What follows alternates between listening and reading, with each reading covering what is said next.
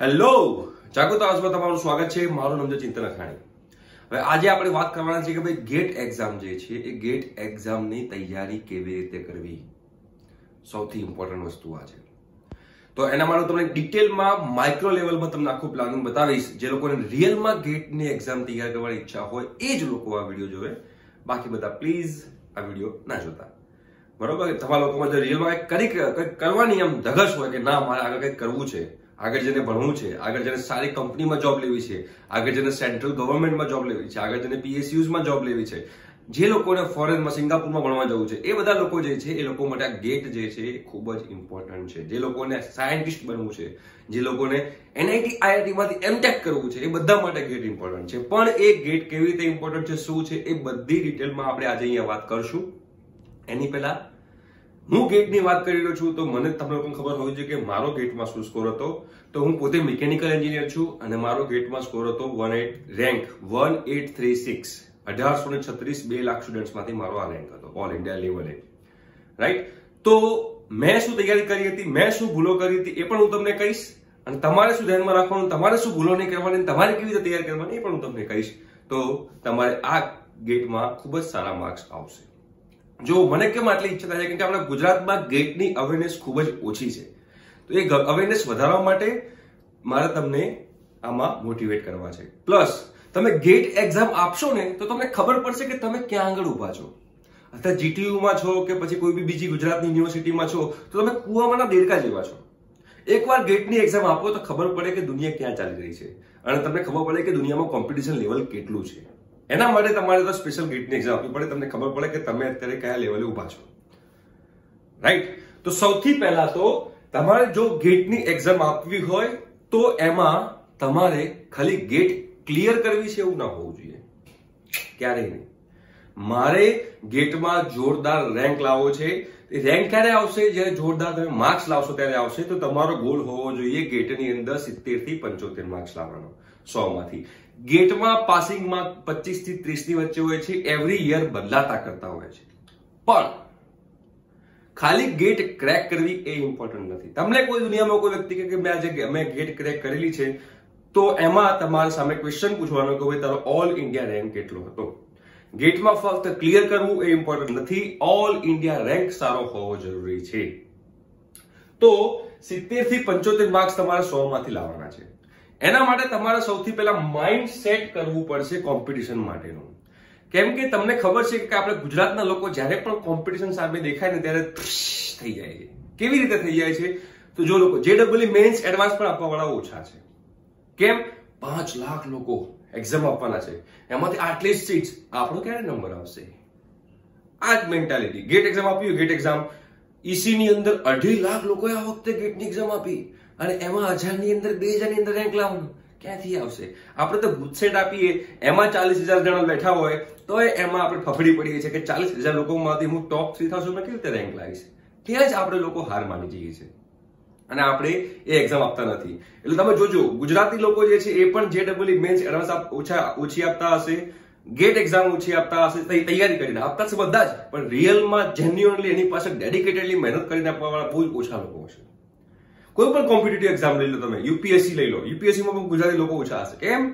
કેમ કે એ લોકોને એમ છે કે આટલા બધા લોકોમાંથી આપણો નંબર ક્યારે આવશે? એવું ના હોય. આપણે પણ આવી શકીએ છીએ, એવું રાખવું પડે, તો તમે એની અંદર સક્સેસફુલ થઈ શકો. તમારું માઇન્ડ સેટ કરવું પડશે પહેલા તો કે આ જે અઢી લાખ છોકરાઓ જે છે, ધારો કે મિકેનિકલમાં અઢી લાખ છોકરા બેસે છે એવરી યર તો તમને શું લાગે છે? આ અઢી લાખે અઢી લાખ છોકરાઓ તૈયારી કરીને બેસે છે? ના.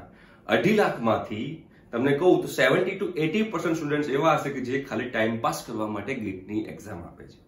જેન્યુઅન ખાલી પચીસથી ત્રીસ ટકા લોકો હશે કે જે લોકો તમારા કોમ્પિટિશનમાં હશે, જે લોકો જેન્યુઅનલી તૈયારી કરીને ગેટની એક્ઝામ આપતા હશે.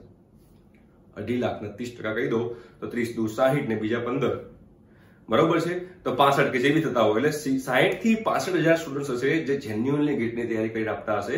તો એ સાહીઠથી પાસઠ હજાર જે સ્ટુડન્ટ છે, એની અંદરથી તમારે રેન્ક લાવવાનું છે. ના કે અઢી લાખથી. તો તમને તમારું માઇન્ડ છે ને all is well all is well all is well feel થશે. જ્યારે હું ગેટની એક્ઝામ આપવા ગયો ત્યારે મેં જોયું, મેં ચેક કર્યું, તો મને કેમ થયું, સર, આટલા બધા લોકો ગેટની એક્ઝામ આપે છે? સારું આપણો નંબર ક્યારે આવશે?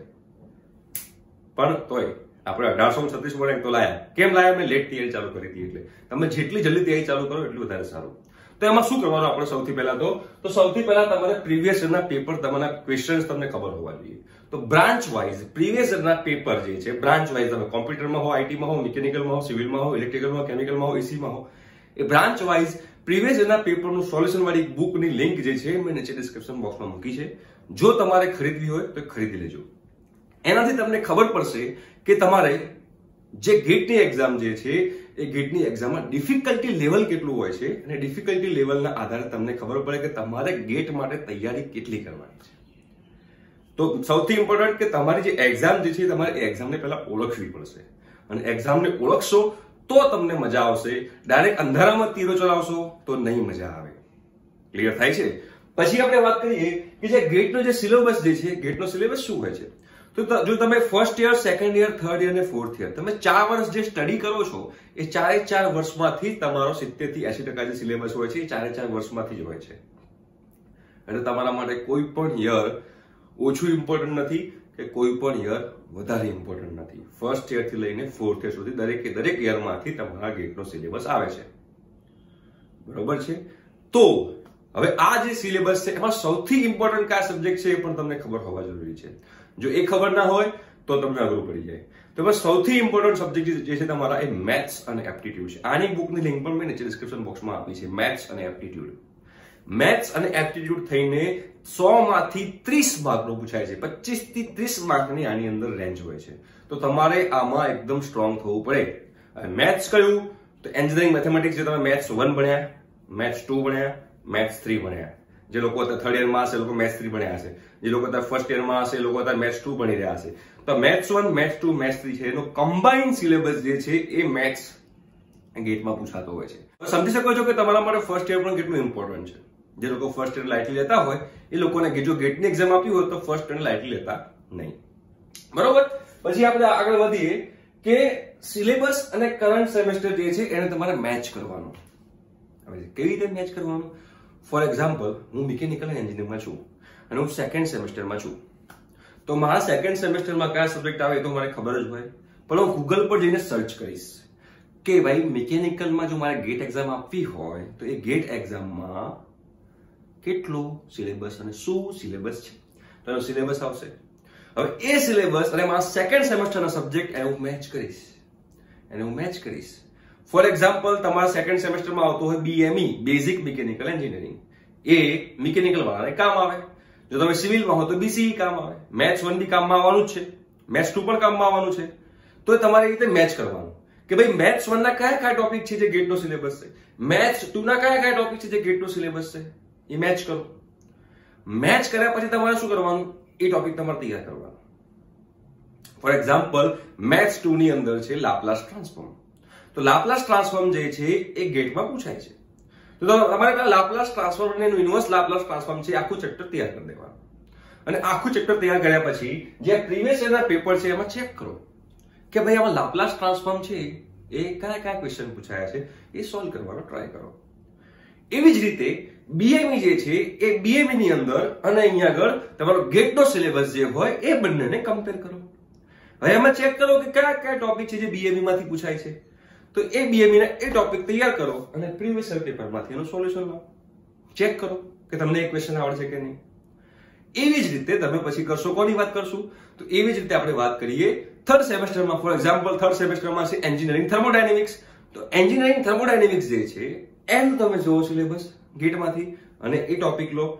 જે લોકો થર્ડ સેમેસ્ટરમાં હોય એની વાત કરું છું. તો એ ટોપિક લો ટોપિક તૈયાર કરો અને પ્રીવિયસ પેપરમાંથી સોલ્વ કરો.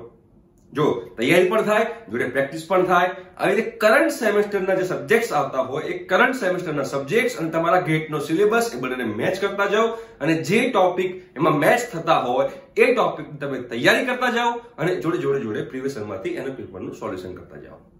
Best method to prepare for GATE બરોબર? હવે આપણે આગળ વાત કરીએ.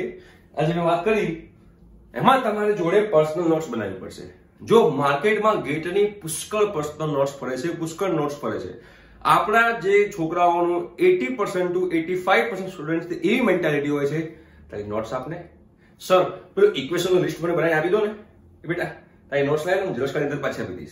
બીજાની નોટ્સ બીજાના ઇક્વેશનનું લિસ્ટ બીજા જે બનાવ્યું હોય, એ સીધું આપણે ઝેરોક્ષ કઢાઈને આપણે મૂકી દઈએ છીએ. એ તમને સૌથી વધારે નુકસાન કરે. તમારી પોતાની પર્સનલ નોટ્સ હોવી ખૂબ જ જરૂરી છે. કેમ? કેમ કે તમે જે પર્સનલ નોટ્સ બનાવી હોય, એ પર્સનલ નોટ્સ જે છે, એ તમને જ ખબર છે કે તમે કેવી રીતે બનાવી છે. બીજાએ બનાવેલી પર્સનલ નોટ્સ જે હોય, એ તમને ખબર ના પડે કે એને શું વિચારીને એમાં પર્સનલ નોટ્સ બનાવી છે. તમે જ્યારે પર્સનલ નોટ્સ બનાવતા હો અને એમાં તમને જે કન્સેપ્ટ ખબર ના પડતી હોય, તમે એરો કરીને ઉપર લખી શકો છો કે ભાઈ આ કન્સેપ્ટ મને ખબર નથી પડી, પણ એનો મતલબ આવી રીતે થાય છે. એ કન્સેપ્ટ આ બુકમાં આ લખાય છે.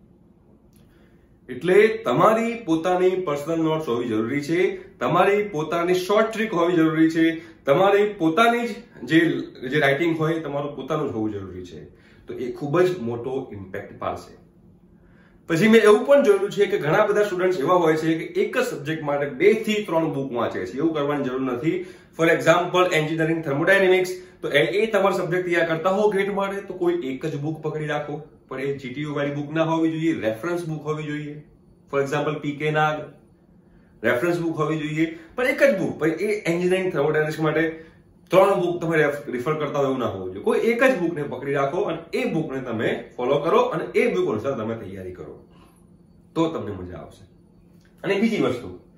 સૌથી ઇમ્પોર્ટન્ટ ગેટમાં સક્સેસ જવાનો સૌથી ઇમ્પોર્ટન્ટ જે સક્સેસ મંત્ર છે ને, એ રિવિઝન છે. સૌથી ઇમ્પોર્ટન્ટ કેમ સૌથી ઇમ્પોર્ટન્ટ રિવિઝન મંત્ર છે? તમે આજથી ત્રણથી ચાર દિવસ પહેલા તમે જે જમ્યા હશો ને એ પણ તમને યાદ નહીં હોય, તમે જે કપડાં પહેર્યા છે એ પણ તમને યાદ નહીં હોય. બરોબર? તો પછી તમે ત્રણથી ચાર દિવસ પહેલા, પાંચ દિવસ પહેલા, છ દિવસ પહેલા, પંદર દિવસ પહેલા, મહિના પહેલા વાંચેલું ક્યાંથી યાદ હોય? કોઈ દિવસ યાદ ના હોય. તો ગેટમાં તો ચારે ચાર વર્ષનો સિલેબસ આવે છે. તો ફર્સ્ટ યરનું વાંચેલું, તમે થર્ડ યરમાં કે ફોર્થ યરમાં ગેટની એક્ઝામ આપો છો, ક્યાંથી યાદ હોય? કોઈ રજનીકાંત હોય ને, એને પણ યાદ ના હોય. આપણે તો માણસ છીએ. તો આમાં સૌથી ઇમ્પોર્ટન્ટ રોલ જે ભજવશે એ છે રિવિઝન જો રિવિઝનમાં તમે ગયા, કાચા પડ્યા, તો દાવ પાણી ડોટ કોમ થયા વગર નહીં રે લખીને રાખજો. તો શું કરવાનું આની અંદર રિવિઝન તો ફોર એક્ઝામ્પલ તમે અત્યારે ફર્સ્ટ યરમાં છો. તો ફર્સ્ટ યરની અંદર તમારે ફર્સ્ટ સેમ સેકન્ડ સેમ જે છે એ બંનેને તમે થઈને ગેટની તૈયારી કરી. હવે સેકન્ડ સેમ પતે ને થર્ડ સેમ ચાલુ થાય એની વચ્ચે ગેપ આવે. પંદર દિવસ, વીસ દિવસ, જેટલો બી ગેપ આવતો હોય. અને સેકન્ડ સેમ સ્ટાર્ટ થાય, એની જે મિડ સેમેસ્ટર એક્ઝામ આવે, ત્યાં સુધીમાં કોઈ છોકરાઓ સોરી થર્ડ સેમેસ્ટર સ્ટાર્ટ થાય, અને એની જે મિડ સેમ એક્ઝામ આવે, ત્યાં સુધી કોઈ છોકરાઓ વાંચતા હોતા નથી. જલસા જ કરતા હોય છે. તો સેકન્ડ સેમેસ્ટરની એક્ઝામ પતી ફાઇનલ એક્ઝામ સેમેસ્ટર એક્ઝામ અને થર્ડ સેમેસ્ટરની મિડ સેમ એક્ઝામ આવે, એની વચ્ચે જે ગેપ છે ને, એ ગેપની અંદર તમારે ફર્સ્ટ સેમ સેકન્ડ સેમનું પાછું એકવાર રિવિઝન કરી નાખવાનું.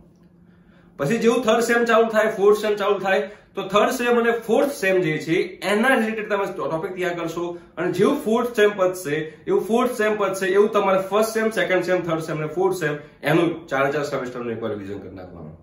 અને એવી રીતે fifth sem six sem seven sem eight sem હવે કહેશો સર બહુ બધી વાર લાગે? ના. તમે જેટલું વધારે વાર રિવિઝન કરો ને, એટલી ઓછી વાર લાગે. ફોર એક્ઝામ્પલ કોઈ એક પેજ છે. એક પેજ હું એક વાર, મારે પહેલી વારમાં તૈયાર કરવું હોય તો મને અડધો કલાક થાય. હવે એને બે દિવસ લઈને પાછું વાંચું ને તો મને વીસ મિનિટ થાય. અને એ બે દિવસ એનું પાછું વાંચું તો મને પંદર મિનિટ થાય. પછી એ બે દિવસ લઈને પાછું વાંચું તો મને પાંચ મિનિટ થાય. પછી ખાલી મારે આમ ગ્લિમ્સ જ જોવાની હોય. અને પછી તમે આમ આંખ બંધ કરો ને તો આખું પેજ તમને આંખમાં દેખાતું હોય આ રિવિઝનનો કમાલ છે. તો રિવિઝન સૌથી મોટું ઇમ્પોર્ટન્ટ તમારું હથિયાર રહેશે. જો તમારે ગેટની એક્ઝામ ક્રેક કરવી હોય તોની વાત છે. અને સારા માર્ક્સે ક્રેક કરવી હોય તોની વાત છે. અને પ્રેક્ટિસ એક્ઝામ્પલની જે પ્રેક્ટિસ છે ને એ પણ ખૂબ જ ઇમ્પોર્ટન્ટ છે. પ્રીવિયસ એના ક્વેશ્ચન તો ખરા જ. એના સિવાય પણ તમે ગૂગલ પર સર્ચ કરશો તો પણ તમને તમારા સબ્જેક્ટ વાઇઝ જે એમસીક્યુ છે ગેટ માટેના એ પણ તમને મળી જશે. તો જે મેં કીધું એવી રીતે તમે કરશો તો તમારે સૌથી ઇઝીલી ગેટ એક્ઝામમાં સારા માર્ક્સ આવશે. મેં શું ભૂલો કરી હતી એ તમને હવે કહી દઉં. મેં છેક ફોર્થ યર પતવા આવ્યું ત્યારે મેં કીધું, મને ઈચ્છા થઈ કે મારે ગેટની એક્ઝામ આપી છે. તો એ વખતે તો બહુ લેટ થઈ ગયું કહેવાય, કેમ કે આપણે એક થી ચાર વર્ષમાં ખાલી જલસા જ કર્યા હતા, બીજું કંઈ નતું કર્યું, કશું આપણને આવડતું નતું તો એમાં પછી મારે એક વર્ષનો ડ્રોપ લેવો પડ્યો અને મારે ક્લાસીસ કરવા પડ્યા અને એ ક્લાસીસને મેં મહેનત કરીને પછી મેં ગેટની એક્ઝામ આપી. જો હું પહેલેથી જો અવેર હોત, પહેલેથી અવેર હોત ફર્સ્ટ યરથી જ મને ખબર હોત કે મારે ગેટની એક્ઝામ આપવી છે, તો ફોર્થ યર આવતા આવતા મારે ગેટની એક્ઝામની તૈયારી પણ થઈ ગઈ હોત પ્લસ આ જે રેન્ક આવ્યો છે, એના કરતા વધારે સારો રેન્ક આવ્યો હોત અને મારું એક વર્ષ છે ના બગડ્યું હોત. તો મારા ફ્રેન્ડ જે બધા એક વર્ષ મારથી આગળ છે, હું એમની જોડે હોત. બધું હોત હોત હોત થઈ ગયું. એ અત્યારે નહીં, પણ ફ્યુચરમાં તમને આનો અફસોસ થશે કે સારું આ કર્યું હોત તો. એ હોત તો શબ્દ જે છે ને, એ હોત તો શબ્દ ખૂબ જ ડેન્જર છે. એટલે મહેરબાની કરીને આ શબ્દ તમારા મગજમાં ના આવવો જોઈએ. હું ભગવાનને પ્રાર્થના કરું અને તમે ગીતની તૈયારી મસ્ત રીતે કરો. ઠીક છે? Bye-bye.